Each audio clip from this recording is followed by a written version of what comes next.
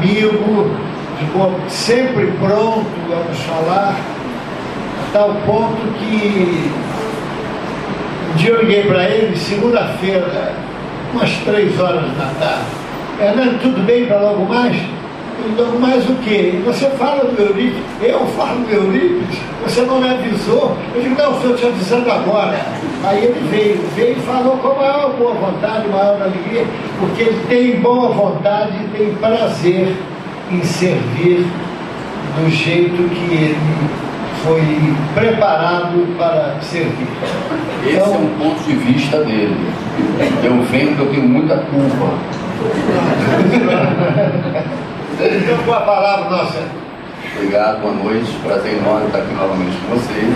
Tem um monte de rosto amigo, companheiros, outras casas e Euripides. Prazer imenso. E nós vamos falar sobre um tema hoje de fundamental importância. Só que é um tema, na abordagem que nós vamos dar, nós vamos fazer uma parada como sempre faço, né, voltando Moisés, Jesus, Espiritismo, início de carreira, e vamos terminar nesse bom combate a culpa com os olhos de Joana de Anjos. Joana de Anjos, na minha visão, é a vanguarda do Espiritismo.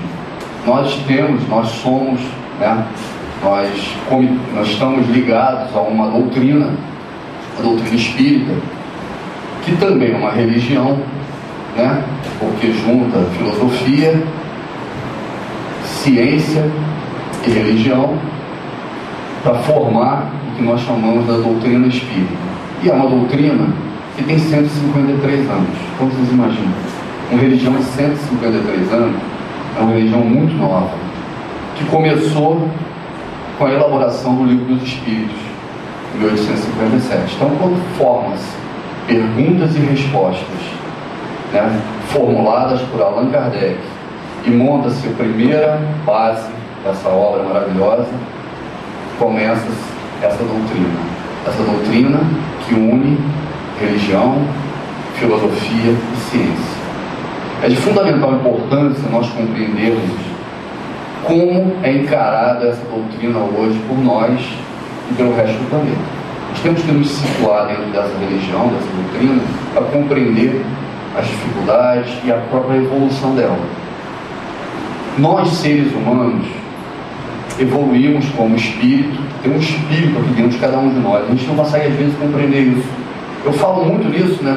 A gente fala em, na alma, no fantasma, no obsessor, naquele que é socorrido na mesa mediúnica, no problema espiritual, mas eu acho que no cerne da questão, no início da questão, nós não conseguimos compreender que nós somos espíritos também, como eles. Dentro de cada um de nós aqui nessa sala, encarnado ou desencarnado, tem um monte de desencarnado também, existe um espírito. O que é esse espírito? Esse espírito é o princípio inteligente. É o início de tudo. Esse princípio inteligente, que somos nós, como essência, é que foi citado por João Evangelista a criação, a imagem e semelhança de Deus. Vamos dizer isso. Nós fomos criados à imagem e semelhança de Deus, como espírito, como princípio inteligente, que é essa essência, essa energia que está dentro de cada um de nós aqui nessa sala. Isso é a essência de todas as religiões. Todas as religiões não dizem, não falam da imortalidade da alma, não falam que vai continuar após a morte, é um desencarne, a continuidade do que nós estamos vivendo aqui? A religião espírita também. E nós falamos mais, nós dizemos o seguinte, que esse princípio inteligente é a essência é, e é a causa da existência de tudo que nós conhecemos. O planeta só existe porque nós temos que evoluir, cada um de nós. Jesus só esteve aqui no planeta, Bezerra de Menezes, Eurípides Barçanufo, Maria Mãe Santíssima, Santo Agostinho, todos os santos da igreja, todos os mentores espirituais, só estiveram aqui para a evolução individual de cada um de nós nessa sala. Então, quando nós olhamos e dizemos nós não temos importância para Deus, é o maior erro que existe. Porque tudo que existe no universo é para a única evolução dessa criança que somos nós, que é esse princípio inteligente. E é disso que a nossa doutrina trata. Só que quando nós começamos com essa doutrina, há 153 anos atrás, existiam ainda muitas perguntas sem respostas.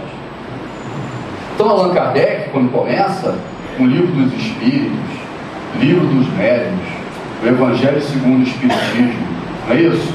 Céu e inferno e a Gênese, ele estava pontuando, conceituando, trazendo a verdade do plano espiritual, a nossa essência, a importância da existência, que é Deus, o modelo a ser seguido, Jesus. Então, isso aqui eram tudo pontuações que ele começou a fazer no livro dos Espíritos. Se nós não lemos nem o livro dos Espíritos, nós não temos nem a base do que é a nossa doutrina. Depois do livro dos Espíritos veio o livro dos Médios. Por que, que veio o livro dos Médios após o livro dos Espíritos? Olha como é lógico e como é tudo preparado, nada é por acaso. Porque nós precisávamos nesse momento, e já tínhamos tido uma pequena ideia básica do que nós somos, do que é Deus, do que é o planeta, como é o outro lado, como se evolui, as penas, os gozos. Então já tínhamos um, a base disso, nós vamos preparar os médios para a maior lição moral que existe no planeta Terra, que é o Evangelho de Jesus, o Evangelho segundo o Espiritismo. Nós precisamos preparar esses médios, treiná-los, dar a melhor condição possível para que nós conseguíssemos receber o livro de maior importância que existe hoje no planeta Terra. O livro de maior importância não é o Evangelho segundo o Espiritismo, não. É o Evangelho de Jesus. Os quatro Evangelhos de Jesus. Por quê? Porque é o único livro no planeta Terra que tem o mesmo peso em qualquer planeta do universo. Que foi trazido a nós por um, pelo único Espírito puro que esteve entre nós, que é Jesus. O único Espírito puro de essência foi Jesus. E os quatro evangelhos de Jesus traduzem que postura nós temos que ter, que, se, que ação nós temos que ter diante das situações, das condições, para tomar a decisão correta. E assim evoluir. O céu e o inferno veio mostrar através de muitos desencarnes como nós nos comportamos diante das ações certas ou erradas que tomamos diante das leis do Evangelho. Então, de acordo com as decisões que eu tomo na carne, como eu vou me comportar, que situação eu vou ter, que sofrimento ou bem-estar eu vou ter do outro lado diante dessa situação. Esse exemplo é fundamental. Então, tem desde princesas, rainhas, até pessoas do povo, lavradores, desencarnando e sendo recebidos do outro lado e dando o seu depoimento diante da obra. E a Gênese é a parte científica dessa doutrina. Tudo bem? Cada espírito desse, que somos nós aqui nessa sala, encarnado desencarnado, é um espírito imortal. Isso nós não aprendemos ainda. Porque se nós tivéssemos aprendido, daríamos muito menos importância, ou a importância correta, em tudo que nós sofremos durante a nossa vida.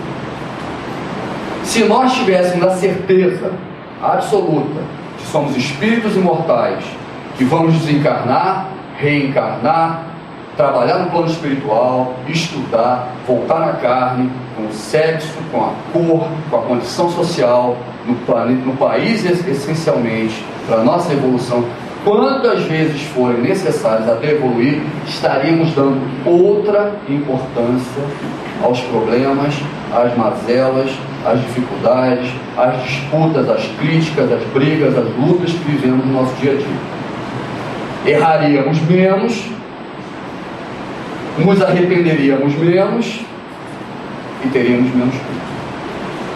Tudo bem? Até agora bem? Quando que esse espírito que vem evoluindo nas camadas inferiores, mineral, vegetal, animal, se torna uma individualidade como nós somos? A vem evoluindo. Até então, não tem culpa, porque não tem responsabilidade, porque nós somos impulsionados pelos instintos animais. Mas em algum momento eu passo a ter uma impressão digital, uma carteira de identidade, um CPF, e me torno uma individualidade e começo a ter responsabilidade que pode me gerar aos arrependimentos ou aos benefícios. Quando? Quando eu tenho a minha primeira interação com outro espírito humano. No dia que eu tenho o primeiro contato com outro espírito, eu troco experiência, boa ou ruim, eu acumulo um conhecimento, uma história da minha vida. Cada um de nós tem uma história diferente do outro.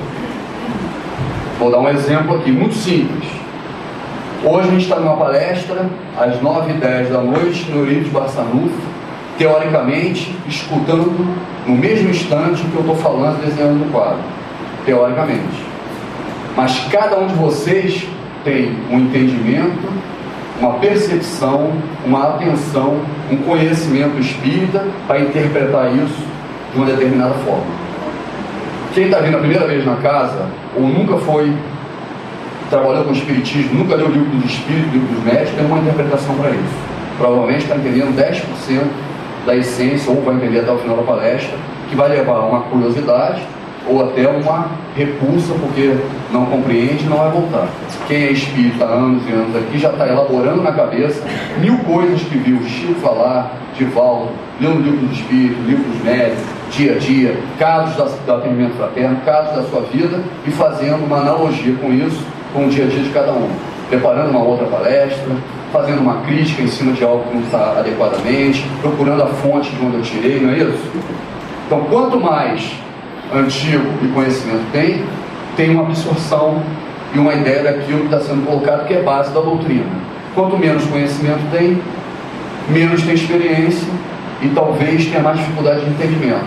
Somos impressões digitais. Em cada segundo nós estamos vivendo experiências completamente diferentes uma da outra. Um está gravando a palestra e tem conhecimento. Ao lado dela, esquerdo, só tem ela com aquela pessoa. Do lado direito, outro. Isso é a teoria da relatividade de Einstein. Nós vivemos a cada segundo experiências diferentes dos outros. Então, o que vale para um pode não valer para você ou para mim. A única coisa que é válido para todos igualmente são as leis de Deus. A única coisa que vale para todos igualmente é a lei de Deus. Então, no momento que você atinge uma percepção, uma virtude, uma postura, você pode ser o primeiro trabalhador da vinha, ou pode ser o último. No dia que você muda, o benefício é o mesmo. É a parábola dos trabalhadores da vinha. Vocês entendem isso? Nós somos completamente diferentes um do outro. Que a cada segundo estamos vivendo experiências diferentes. Ninguém tem a mesma filha, ninguém, ninguém é um filho mais velho ou um filho mais novo igual a todo mundo. Ninguém tem o mesmo pai, a mesma mãe ou tem a mesma experiência. O que eu leio, o que eu escuto, o que eu vivo, o dente que eu escovo, aquilo que eu como, só eu.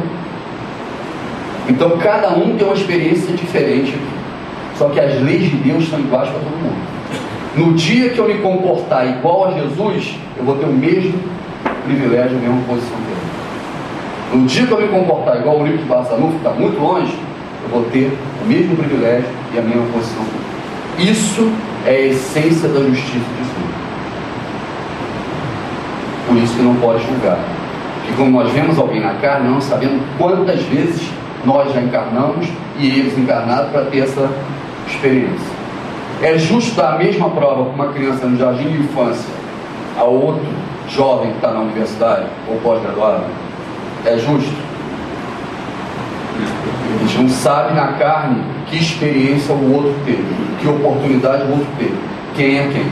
Para você dar a mesma prova, para você dar uma prova para criança de jardim de infância e com uma pessoa na universidade que os dois tenham a mesma oportunidade de nota, só se for uma prova tão difícil que os dois tirem zero.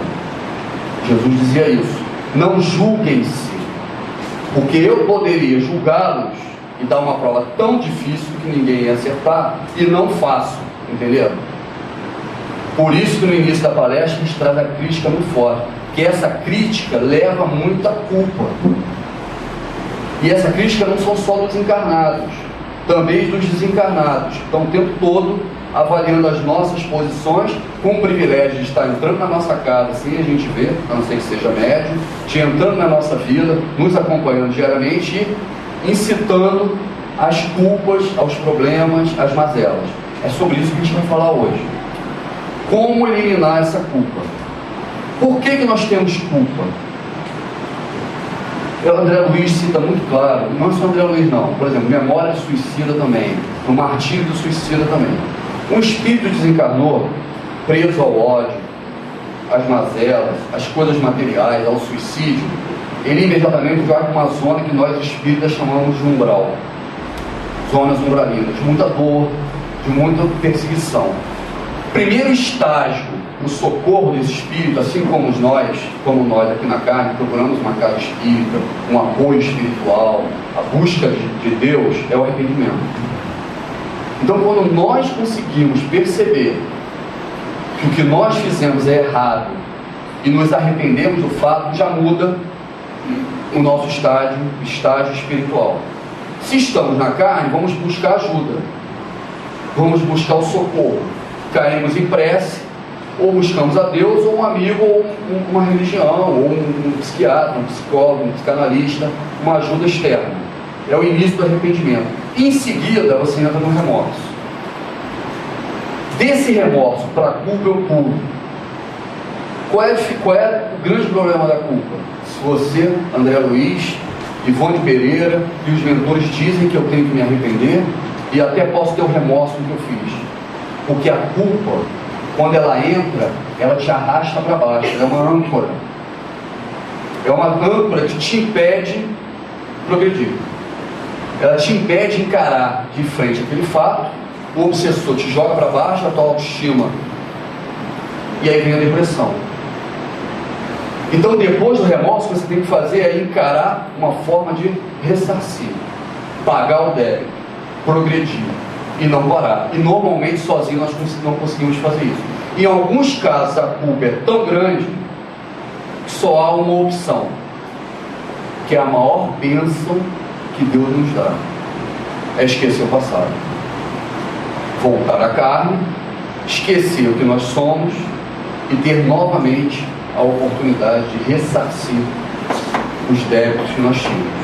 Voltando na família, com os débitos que nós temos, com os filhos, com os pais, com os vizinhos, com os amigos, com os avós, para que eu vença essa situação de culpa e ressarça. Pague, pague o crediário do erro do problema que eu criei, que eu causei. E a culpa se enraiza com tanta força que não me deixa dar o próximo passo, progredir. Essa é a bênção da reencarnação. É a principal bênção da. Esquecer o passado para que a culpa fique e eu consiga dar o próximo passo na direção do trabalho, do crescimento do bem. Sobre isso que a gente vai estudar agora, tá bom? Quanto tempo que eu tenho? Esse não? Então tá bom. Assim vou. Vamos lá então, entender isso. O Espiritismo é uma doutrina com base religiosa. Por que, que é religiosa? Porque fala de Deus. Religião é religar, religar e a Deus. Então toda vez que se fala de Deus, se une a Deus, que se entende e acredita em Deus, temos religião. Tudo bem? Então, religião, porque nos liga a Deus. Filosofia, que estuda a posição do homem, a postura do homem, a atitude do homem, de nós, diante do planeta, diante do universo, diante da vida, da existência. Então, assim como Sócrates, Platão, né, Descartes, todos esses grandes filósofos, a nossa doutrina cita, estuda, discute essa filosofia. Não é só louvar a Deus, não é só acreditar em Deus, não é só amar a Deus, é nos posicionar também nesse grande teatro, ou novela, ou condição de evolução do planeta. Então também tem um papel. Eu não vou só louvar a Deus, eu não vou só pedir coisas para mim. Né? A gente vê os cultos religiosos, as religiões, pessoas pedindo, pedindo, pedindo. Casa espírita não. Você tem que fazer. Você precisa mudar. Você precisa assumir a sua posição. O melhor que você puder já é suficiente para Deus, porque Ele quer a sua evolução. Por isso a filosofia de como agir diante da situação, para evitar o problema e vir a casa pedir ajuda. Eu preciso assistir e não ser assistido. Por isso a filosofia. E por que a ciência? Porque é tudo explicado cientificamente. Desde o momento da formação da doutrina. Algumas pessoas têm mais facilidade de compreender a ciência espírita. Então vem facilmente uma mente mediúnica, vê uma materialização, entende os átomos, os spins, compreende bem o que é um miasma, o passe, água fluidificada, como é que isso ocorre, adora isso, ama isso na doutrina, mas não tem tanto prazer, vontade ou ligação quando se fala de Deus, quando se fala do mentor, quando se fala de Jesus, quando se discute o Evangelho. Outros adoram o Evangelho, adoram a doutrina, ligação a Deus, os fatos históricos, compreendem bem a filosofia, mas não têm muita paciência para a ciência. Por quê? Como eu falei no início da palestra, cada um de nós tem um passado e um presente de conhecimento. Alguns têm facilidade para a ciência, outros para a filosofia e outros mais para a religião. Depende do passado, da bagagem espiritual e conhecimento de cada um. Tudo bem? Não adianta criticar. As facilidades vão depender do que nós somos como essência. Fui cientista em outra encarnação, morava nos Estados Unidos, na Europa, tive opção de estudo, desenvolvimento, tá tudo aqui, ó, no meu princípio inteligente, mas não conhecia Deus. Provavelmente, qual é a minha aptidão quando vem uma doutrina como a espírita, que tem um lado científico muito forte? Fenômeno, conhecimento científico. E o que, eu preciso fazer então nessa encarnação? É desenvolver mais o meu lado científico ou ter opções para desenvolver o meu lado religioso, de conhecer a Deus, de amar a Deus? É assim que funciona a reencarnação. Nós pedimos as opções de família, de dinheiro, de cor, de classe social, de oportunidade para desenvolver aquilo que nós temos mais carência e não aquilo que nós somos melhor. Por isso nós nunca estamos satisfeitos. Por que, que eu vim nessa família? Por que, que eu tenho essa opção e não tenho outra? Por que, que eu não consigo aquilo que eu mais gosto? E aquilo que você mais gosta, teoricamente, mais conhece, você já tem. Você já se desenvolveu em encarnação anterior. Você precisa agora desenvolver justamente o que você não tem. Então o cientista de ontem provavelmente é a dona de casa de hoje. É o religioso que está sendo forçado pelo. Mas é assim que funciona. Adianta eu ser especialista só numa coisa? Eu não tenho que aprender filosofia, ciência e religião? Não adianta. É a tríplice da existência. É Deus, a ciência que envolve as leis, senão não compreendo a justiça, e o que eu tenho que fazer nelas, não é isso? Não é assim a nossa doutrina? Eu vou ter aquilo que eu tenho mais prazer em fazer, que eu melhor, mais conheço na encarnação? Se tiver o teu mentor, o plano espiritual Jesus está sendo inteligente? É claro que não. Einstein vai voltar cientista de novo? Freud vai voltar de novo? Tem que desenvolver o que falta. Provavelmente, cada um de nós tem uma aptidão aqui na sala, mas tem que desenvolver justamente o que falta nesse desenvolvimento. Tudo bem? Então, um espírito, um único que a gente conhece, viveu tudo isso. Passou pelos planetas primitivos. Eu tenho tempo, né? Depois foi para provas e expiações. Isso aqui é a base espírita, hein? Esse somos nós, é o princípio inteligente. Planetas, escalas de planeta. Primitivo é o primeiro da escala. Desde a formação do planeta Terra até a Idade Média, nós vivemos primitivos, não é isso? Estamos elaborando o processo, evolução genética, Darwin, e evolução espiritual com visitas de Capelino, formação dos gregos, romanos, egípcios, maias, astecas, incas, não é isso? Os espíritas sabem disso. Então, até a Idade Média, éramos primitivos mesmo. Depois, provas e expiações. Por que, nós entramos nesse estágio de provas e expiações? Que estamos até hoje. Porque nós nos comprometemos em erros, não é? Cometemos problemas outros, problemas a nós, e nós já aprendemos mais da metade do planeta o que é certo e o que é errado. Quando mais da metade do planeta aprendeu, isso aqui é a Terra, são 25 bi de espíritos na Terra, 7 encarnados, 18 do outro lado, então, né? Primeiro vestibular nós já passamos. São três mais ou menos para cada um encarnado. Quando mais da metade do planeta já sabe o que é certo ou errado, o que implementamos o Evangelho, o planeta mudou. Agora eu posso fazer a prova. Dá para fazer a prova antes de conhecer a matéria, antes de ter estudado? Antes de saber o que é certo e errado, dava para fazer alguma prova? Não dava. Então tenho que voltar na carne, passar pelas situações semelhantes, esquecer o passado para ver se eu acerto dessa vez. Tudo bem? Por isso que é prova, planeta. Expiação que apesar de eu não saber naquele momento o que era certo e errado, eu cometi erro. Quando uma criança derruba uma panela de água fervendo na cozinha, por mais inocente que ela seja, se queima e queima o outro, não tem uma dor ali envolvida, não temos que chamá-la a atenção.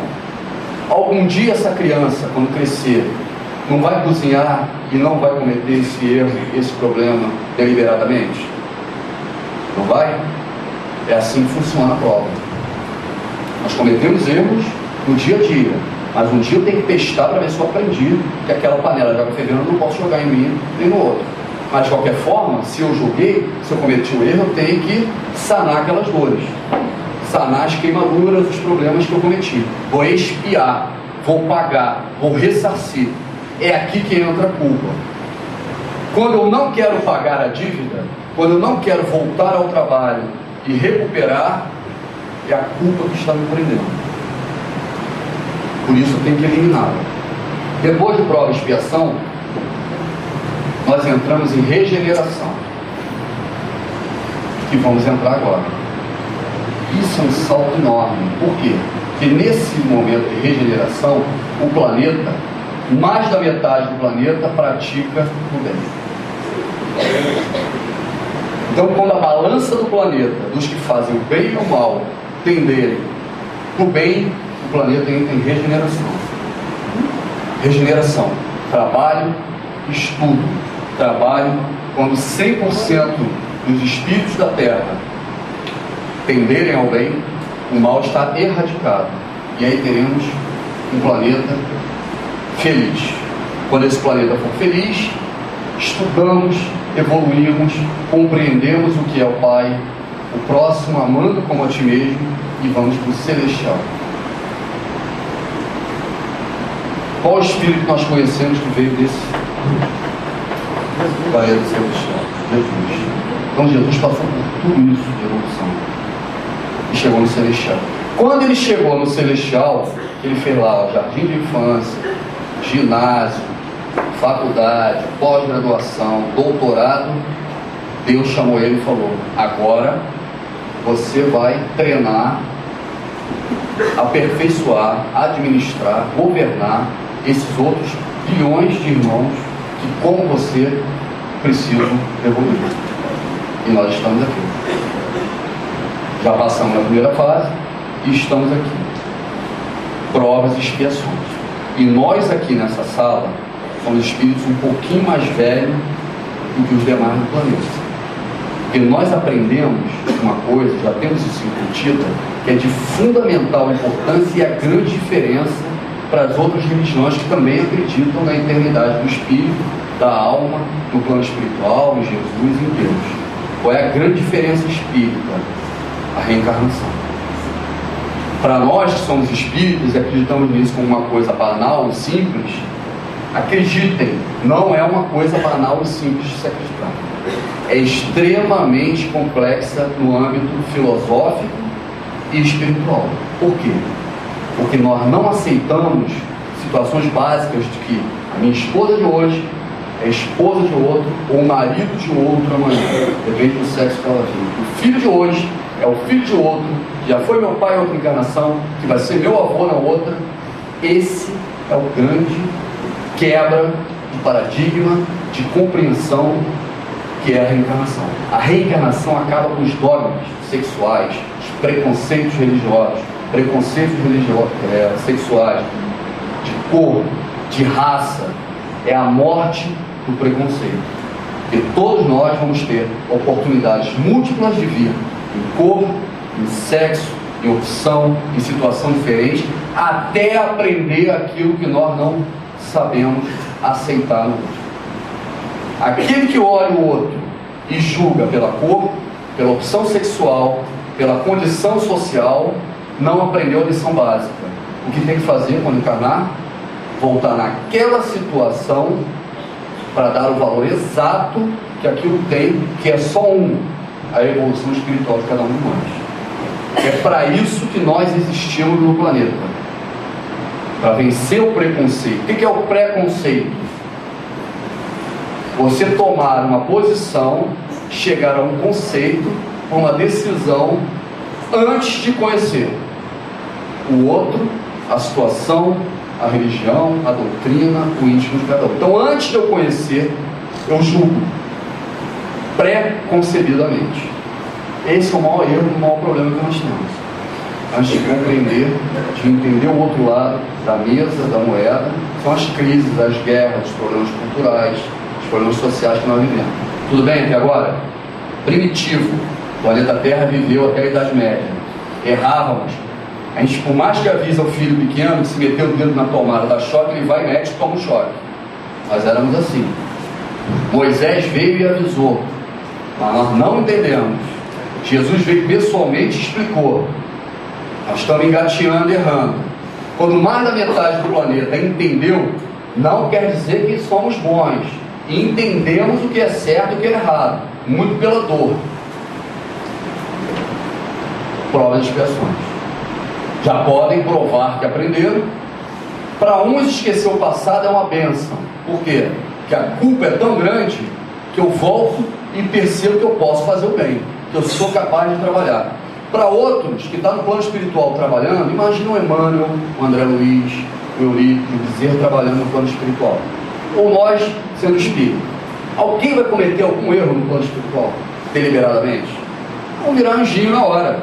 Depois de passar o arrependimento, a culpa, a dor, pô, aí eles falam, você é bonzinho mesmo? Sabendo de tudo isso? Sou. Então vamos esquecer tudo isso, vamos voltar na carne para ver se acerta. Porque sabendo é fácil. Você não faz por medo, porque conhece a regra, conhece a punição. Volta na carne esquecendo, vamos passar pela mesma situação da traição, do desejo, do dinheiro, do poder, para ver se vai acertar mesmo. A gente fica apavorado. Não é assim?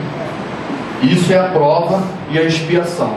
Regeneração planeta inteiro, mais da metade do planeta, tende ao bem. Já fizemos as provas e espiamos nossos remorsos, nossos problemas, ressarcimos. Vamos regenerar o planeta. 100% do planeta quer fazer o bem. Ainda não sabe perfeitamente, mas quer fazer o bem. Estamos num planeta feliz. Quando todo planeta, além de querer fazer o bem, sabe fazer o bem, celestial. E aí quando acabar, começa o trabalho. Ele falar, agora você vai assumir um monte de cabeça dura tal lugar, uhum. você aqui, você aqui, porque Deus investiu muito, né? Investiu muito em Jesus. Ele tem que trabalhar agora. E ele dizia isso. Eu e meu pai, quando eu voltar, trabalhamos muito mais do que eu estou fazendo aqui. Não falaria isso para os discípulos dele? Tem que montar outro planeta, montar a escola, trabalhar em cima disso. Vamos lá. Vamos lá que ainda tem tempo. Tudo bem, né?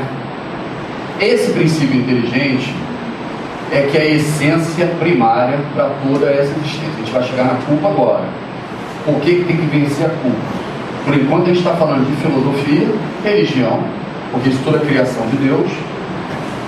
E agora a gente vai falar muito de ciência, para entender como é que funciona isso. Esse princípio inteligente precisava evoluir crianças. Se somos crianças, e vocês têm criança em casa, ou os vizinhos têm criança e conhecem as crianças, se vocês fossem Jesus por um momento, o que vocês fariam para desenvolver educacionalmente, moralmente, essas crianças. Isso é um princípio inteligente, imortal. Somos cada um de nós nessa sala.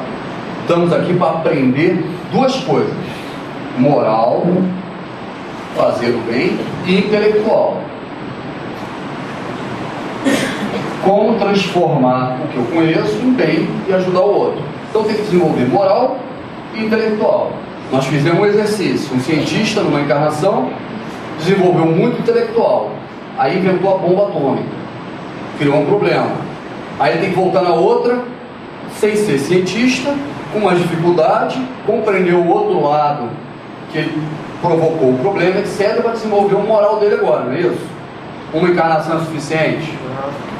Então tem que desenvolver moral intelectual. O outro veio moralmente, se asilou, trabalhou lá com os freios, enclausurou, moralmente é uma pessoa muito boa, mas ele vai governar uma cidade, uma casa espírita, uma região, uma família, ele não consegue administrar.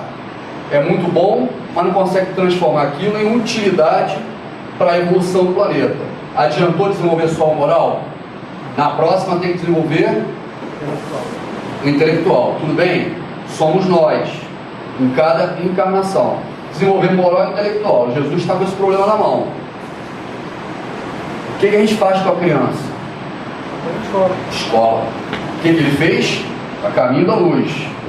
Montou a nossa escola. Quem que é preciso, além do aluno e da escola? Uniforme. Começou Darwin, não é isso? Evolução das espécies. Para ter a condição de uniforme biológico que nós temos para frequentar essa escola. Por que esse corpo biológico é de fundamental importância? Nós falamos no início aqui. Um para vencer a culpa, que cada vez que eu encarno eu esqueço o passado, temporariamente, e começo uma vida nova. Criança, flexível, não é isso? Desenvolvendo moral e intelectual. E a outra é para testar com esse esquecimento se eu vou tomar a decisão correta. Se eu vou fazer a posição correta. Então, além do aluno da escola, isso é Milton Gonçalves Barros, dessa aulinha, e do corpo espiritual, que é o uniforme, o que mais que tem numa escola? Professor. Muito importante. Começaram os primeiros, né? Moisés, Sócrates, Platão, todos os exilados de capela do Egito, de Roma, da Grécia, o povo judeu, todos esses que vieram ajudar como professores tinham a mesma formação acadêmica? Não. Filosofia grega, não é isso? Religião judaica. Direito, família, romano. Não é isso? Aham. Por quê? Astrologia maia. Maia da da astrologia, os persas lá com a matemática, início do que a gente tem hoje na Arábia, não é isso? Cada um dos professores tinha uma especialidade, trouxeram esse conhecimento religioso, filosófico, científico. Não são os professores? Os nossos professores são iguais, todos iguais? Não? Se forem todos iguais, a gente vai aprender todas as matérias? Não? Só um conhecia tudo isso em essência. Qual é? Pois é. Porque passou por tudo. Tudo bem? O que mais que é necessário? Aluno, uniforme, escola, professores. Santo Agostinho, não é isso? São Paulo, Pedro. Os nossos professores são perfeitos? Não. Também eles não eram. Mas eram muito melhores que a gente. Por isso são professores. Tinham conhecimento, experiência, autoridade para aulinha. Não é isso? O que mais que tem, Enem? Estamos aqui, ó, tá fácil. Material. Material. Acabamos de falar, ó. Quanto material esses caras deixaram aqui para gente? Moisés deixou o Antigo Testamento inteiro. Não deixou? Jesus deixou os quatro evangelhos. Paulo as cartas, Pedro as cartas, Tiago as cartas, João o Apocalipse. Só de falar do Antigo. Kardec. o Espírito da Verdade. Chico Xavier. Fiquei até arrepiado agora, né? Falar de Chico Xavier, Emmanuel, André Luiz, Divaldo Franco, Leão Denis, todo arrepiado, meu cabelo está curtinho agora. Tudo isso é material didático. O material didático que nós temos, desde o momento que começamos a estudar, até o fim da carreira acadêmica, é o mesmo? Não. Não vai mudando, evoluindo? É igualzinho. Moisés não falava no básico, não roubar, não matar, não cobiçar a mulher do próximo, o burro do próximo, a fazenda do próximo. Kardec fala disso. Está falando. Se vocês não aprenderam nem o não matar ainda, como é que vocês querem discutir a culpa do João de Anjos? Não é assim? Era o básico, né? As leis de Italião, a lei de causa e efeito, e vem evoluindo, né? Santo Agostinho, Jesus deu um salto maravilhoso. A gente não vem aprendendo esse livro de Jesus com o passar dos anos, a gente não interpretava corretamente, era o melhor que nós podíamos fazer. Agora não temos mais conhecimento para interpretar. O que mais que tem? Falta uma coisa fundamental: aluno, uniforme, escola, material didático, professor, mas tem uma coisa Prova. faz Prova. perfeita. O boletim. Agora a gente vai falar do boletim. Agora eu já vou apagar tudo para falar só do boletim, que é o que mais importa no final do mês. Fala a verdade. Tudo é importante, não é? Mas para o aluno, o que, que vale? Nota azul. Tá isso. Ó, por que, que eu tô com azul e vermelho aqui, ó? Por que, que eu falei essa enrolação toda até agora? Para chegar no boletim. Tudo bem até aqui? Mole, mole, hein? Esse cara aqui, chamado Gilson Gilberto Portal de todos nós, que é o princípio inteligente, para ele evoluir moral e intelectualmente, ele tem que pensar, ganhar inteligência, moral e intelectual. Essa inteligência é composta de dois fatores. Um é lógico. Como eu encaro as situações. Como eu pego alguma coisa e transformo em algo. Essa caneta pura e eu parado aqui muda, adianta alguma coisa? Conhecimento?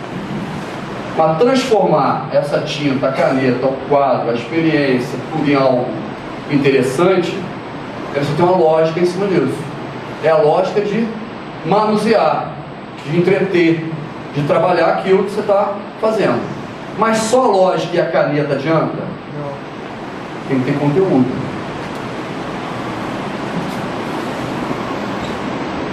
Só a lógica é maravilhoso, mas eu viro somebody love. Não é o love, não é assim? O cara tem uma tremenda numa lógica. O professor pergunta, ele, opa, ele leva o assunto, não responde nunca o que foi perguntado. Então ele tem lógica, ele tem habilidade, mas não tem conteúdo, porque ele não senta para estudar, não grava, não aperfeiçoa, não interage, não é isso? Essas duas ferramentinhas levam ao inteligência, conteúdo e lógica. Por isso nós temos que interagir. Se sentar e ficar lendo, lendo, lendo enclausurado, não coloca em prática, não ganha lógica. Você só se relacionar com os outros, mas não estudar, você não ganha conteúdo. Tudo bem? Alguns têm mais lógica, do limão faz uma limonada, e outros têm um conteúdo enorme e não tem lógica e transforma aquilo num problema para ele. Porque falta inteligência emocional, lógica, etc. Tudo bem também sobre isso? Quando esse espírito começa a ter essa primeira contato, esse primeiro contato com o que vai gerar inteligência, que ele está acumulando conhecimento, está colocando isso em prática, são nos instintos animais. Então ele tem uma aptidão, tem um talento, tem uma possibilidade, além não tece uma teia para parar lá um inseto e comer depois, estrategicamente pelo instinto dela não sabe onde colocar. Os passarinhos, as- todos os animais não têm uma capacidade lógica e um conteúdo genético que leva aquela inteligência, nós herdamos isso. E essa herança traz o início desse desenvolvimento moral e intelectual através de coisas materiais. Tudo que eu aprendo no início da minha carreira como espírito é comer, beber, dormir, procriar, proteger, coisas materiais. Quando eu gero coisas materiais, quando eu desejo coisas materiais, quando eu só exercito conteúdo e lógica em coisas materiais, eu atraio as moléculas que estão soltas no planeta Terra, são moléculas desses materiais que eu desejo, que eu amo, que eu me apaixono ao ponto de eu transformar o mundo e a minha através deles. Tudo bem? São tudo gatos. O início da carreira desse espírito que evoluiu mineral, vegetal e animal, primeiro contato com inteligência, como nós conhecemos, é instintivo.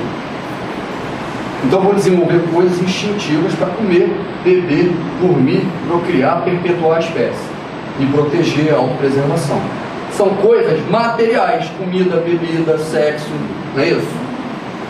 Então aquilo que eu desejo, que eu penso, que eu acredito, são coisas materiais e eu atraio moléculas materiais para formar uma coisa que nós espíritas chamamos de perispírito. Essas moléculas envolvem esse princípio inteligente porque são as coisas que eu acredito, que eu vivo, que eu desejo, que eu vejo, que eu amo. E aí começa a juntar isso em torno do meu princípio inteligente. O princípio é o mesmo, o meu, o de todos, do Eurípides, Bezerra de Jesus. A essência, a criação, a lâmpada é a mesma. Só que aquilo que eu desejo, que eu acredito, que eu vivo para desenvolver moral intelectualmente é muito diferente. Eu só penso em coisa material, em sobrevivência, no agora. E o espírito evoluído não. Então as moléculas que eu atraio para a minha lâmpada são pesadas e são moléculas materiais. É como se eu pegasse o papel celofane e botasse em volta dessa lâmpada. A luz sai da lâmpada quando você bota o papel celofane? Distorcido. Muito pouquinho. Se tira, não ilumina tudo. Jesus não tem nenhum papel celofane nele, porque ele não deseja nada material. Não atrai ele as coisas materiais. Os desejos dele não são materiais, são espirituais. A nossa evolução, a evolução dele, Deus. Eu me amo, amo ao próximo e amo a Deus. É a tríade. Esse é Jesus. Nós não. Nós amamos tudo que é material que está ao nosso redor. E nós estamos desenvolvendo a nossa inteligência em cima disso ainda. E atraímos essas moléculas que cria o perispírito, ou o corpo psicossomático. Psico, que é criado pelo meu pensamento. Somático, que são moléculas materiais. E formam essa barreira no meu perispírito. O que, que eu faço quando venho na casa espírita? Isso está pesado, está me dando dor, problema biológico. Isso aqui vai ficando tão pesado, tanta dificuldade, tanta dor, tanto... começa a afetar o meu corpo biológico, meu uniforme. Começa a rasgar meu uniforme.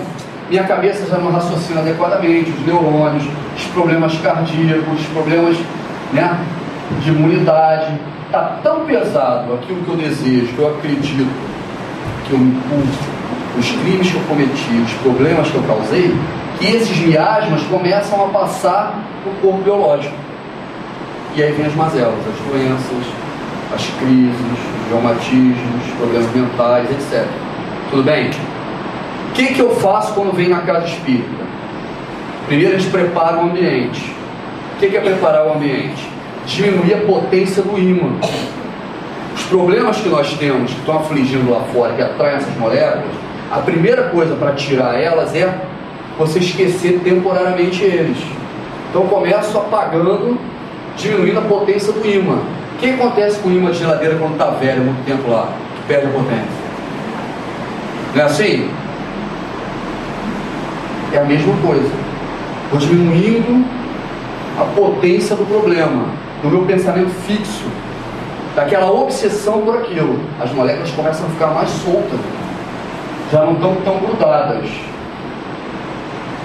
Quando eu entro na sala de passe, o que, que o médium faz? Aproveita que nós diminuímos um pouco a cabeça de cada um na sala dos problemas que estão atraindo essas moléculas e vem tira.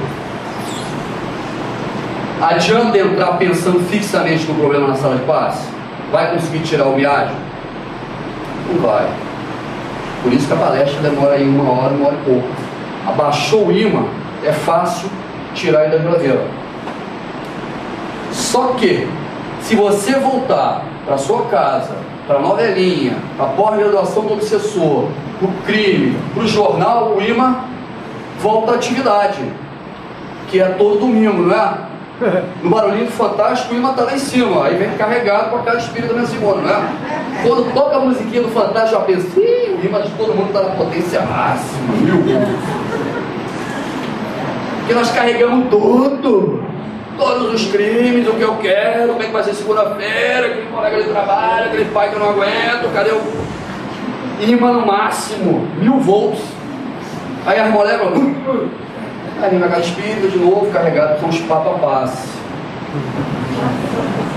Vem pra casinha espírita, faz lá a palestrinha, começa a esquecer, toma um passo, outro, levinho, totalmente já vou tomar uma. né?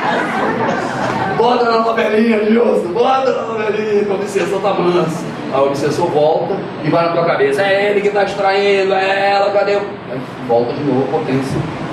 Toda semana. Os papapás estão aqui, a gente vai dando passo, toma um passinho também, né? ficando meio mais carregado. É assim que funciona a nossa vida. Como a gente resolve definitivamente? Quando nós testarmos tudo que a gente deseja veementemente e aquilo não trouxer a felicidade, aí eu enjoo. Quantos de nós já desejou coisas materiais, pessoas, namorados, maridos, e já desejou freneticamente ao ponto de morrer e matar por sofrer por aquilo e agora já não dá tanto valor assim. Não precisa levantar a mão não, hein? A gente testa, a gente prova que não é aquilo que vai trazer a felicidade. Pode acreditar, o Rodrigo Santoro não é essas coisas. Vocês não vão ser felizes com ele. Tira da cabeça. Aí você vai mudando a sua forma de agir, de pensar diante da situação e as moléculas vão saindo no passe ou automaticamente nos banhos de sal, no mar. Tem mil lugares para fazer isso, né? Na leitura e você não assume mais. A novela já não me interessa esse Janiquinho já não é essas coisas todas mesmo. Não é? E aí você vai mudando. Jesus passou por tudo isso. Então nós temos que encarar isso sem culpa. Somos crianças aprendendo que aquilo ali não vai me dar o prazer que eu acho que eu teria. Que só com o tempo eu vou aprender isso. Eu tenho direito de errar. Eu não tenho direito de sentar em cima do erro e me esconder sem ressarcir aquilo que eu cometi. Isso não tem direito. Porque se eu fizer isso, eu perco o bem mais precioso que eu tenho, que é o tempo. O tempo é o bem mais precioso que Deus nos dá. Porque quanto mais rápido eu evoluo, mais feliz eu vou ser. E a maior bênção é o esquecimento. Tudo bem? A culpa é muito mais grave a culpa normalmente está ligada a um erro grave, a um crime, a um acidente provocado, uma má intenção. Além de tudo isso, existe uma lei que aqui no Espiritismo a gente fala nela toda vez, que nós levamos muito, que é a lei de causa e efeito, ou a lei de ação e reação do mundo. O que, que essa lei fala? A gente vai chegar aqui. Nós entendemos que quando a gente tem uma ideia fixa, um desejo fixo, um aprendizado fixo, material, a gente atrai molécula e gruda no nosso perispírito ou psicossomático. Quando eu diminuo esse prazer, essa tensão nela, essa obsessão, essas moléculas ficam soltas ou saem automaticamente, às vezes com banhos de sal, um mergulho no mar, um passe magnético, uma água fluidificada, ou ela está lá em suspensão o tempo todo, abafando a minha luz. Não é isso? As moléculas estão lá. Meu, meu, minha, minha vontade é eliminar todas elas. Só como eu continuo desejando, odiando, com as ideias fixas, elas voltam. Eu não mudo meu modo de pensar. Eu volto ao ódio, volto ao desejo, volto à situação, pum. Aí eu odeio alguém que me roubou alguma coisa. Carro, relógio, alguma coisa. Aquilo ali está com ideia fixa. Então as moléculas vão voltar sempre para a tua situação. Existe uma condição pior do que essa. É a condição da culpa. Por quê? A lei de causa e efeito que ela fala, toda força, toda força empregada no universo, existe uma força igual de intensidade e valor, só que no sentido contrário. Olha que coisa complicada. Toda força, força que é empregada no universo, existe uma outra força de igual intensidade e valor no sentido contrário. Com a mesma força que eu bato a caneta na mesa, a mesa bate de volta no caneta. Coisa estranha. É, mas é assim que funciona.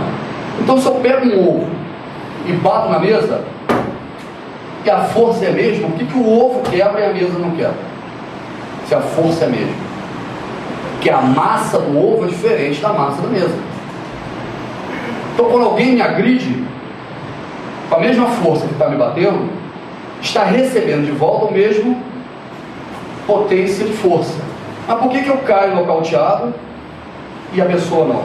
Porque o músculo, o osso, a forma que ela usou, a massa, é diferente do que está recebendo o impacto.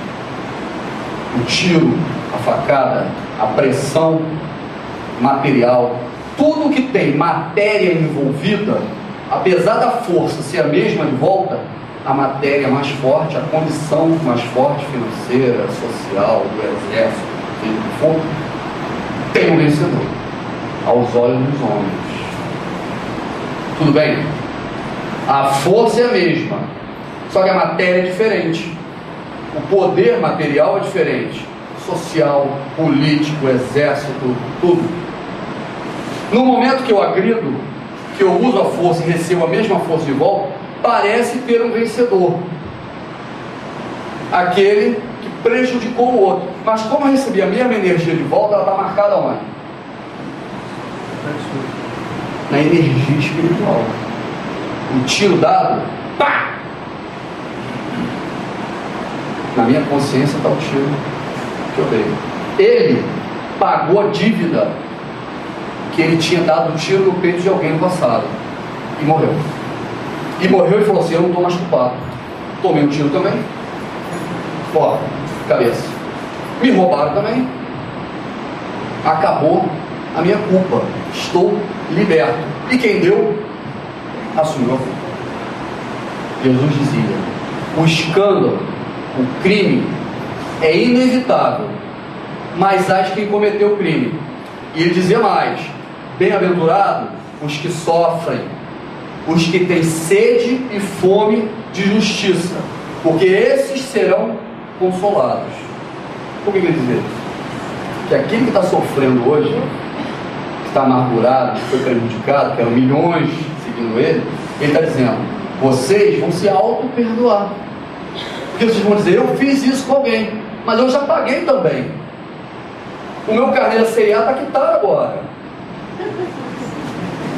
E o que cometeu, ai dele, que vai ficar com o carrinho aberto. E para limpar o nomezinho do Serasa vai ter que pagar um dia. Essa é a contabilidade espiritual. Só que não necessariamente você precisa passar pela dor, pelo crime. Por quê? Aí vem que é o pulo do gato, não é tempo. Até nove horas ou mais um pouquinho. Um pouquinho, um pouquinho. Esse planetinha Terra, que recebeu os alunos, uniformes, que tem essa lei de causa e efeito, que tem que esquecer os miasmas para evoluir. Tudo isso, apesar de Deus ter chamado Jesus falado para ele, ó, assume, apesar disso, existe uma lei, que é mais uma lei de Deus, importantíssima, fundamental para a gente, que é a lei do progresso. O que, que essa lei do progresso diz? Essa lei do progresso diz o seguinte: todos nós, a cada segundo que passa passou, nós somos melhor do que éramos há um segundo atrás. Olha que coisa impressionante. Todos vocês agora já são melhores do que eram quando começou a palestra. Não por causa de mim, infelizmente, por causa da lei do progresso. A cada segundo que passa, uma moléculazinha dessa vai sair. Um pensamentozinho vai mudar. E vocês vão, nós vamos melhorando. É a lei de progresso de Deus. Só que você pode ir mais rápido ou mais devagar. Se todos vão evoluir, por que Jesus então? Se todos os alunos vão aprender de qualquer maneira. Porque tem que evoluir rápido e com menos dor possível. Se Deus é pai, qual pai quer ver o filho sofrendo? Mas nós sabemos que eles vão sofrer por algumas coisas porque erram. E nós vamos deixar sofrer. Mas se pudesse passar tudo que você sabe para o seu filho, para ele não sofrer nada, vocês fariam? É possível? Deus mandou o melhor ele tinha. Deus olhou qual o melhor instrutor que eu tenho, melhor governador, o melhor é Jesus. É esse cara que eu vou mudar. E vou estar ligado com ele o tempo todo para eles aprenderem. Apesar de nós evoluirmos, nós temos que evoluir pelo amor, sem sofrer. Então, essa culpa que existe aqui quando eu cometo um crime, ela não necessariamente precisa ser paga com crime. Se eu fizer a caridade, se eu ajudar o outro, curar aquele necessitado, resolver as questões similares àquela que eu cometi ao próximo, ao filho, ao outro, eu não preciso passar pelo tiro.